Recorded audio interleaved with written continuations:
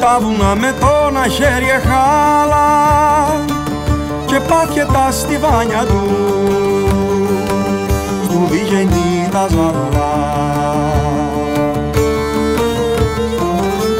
Έκατσε στο τραπέζι μας ένα κρασί να πάρει μαύρο που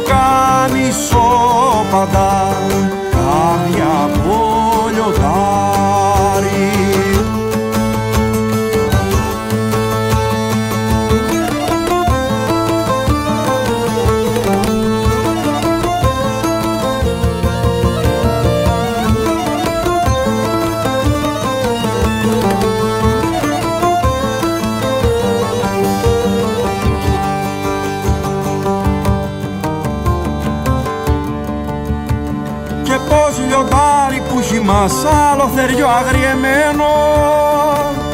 Έτσι κι αυτό σε πάλεψε με ένα κατάτρεγμένο και του χτυπούσε την καρδιά με ένα βαρύ κοντάρι και στην πλατεία του χωριού κρέμασε το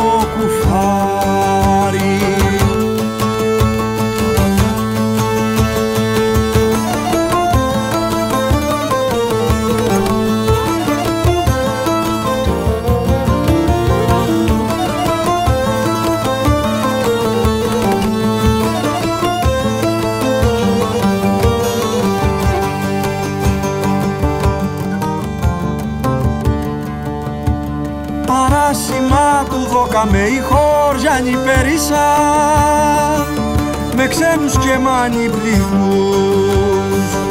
δεν είμαστε ίσα ίσα. Παράσημα του δώκανε η χωριάνη πέρισα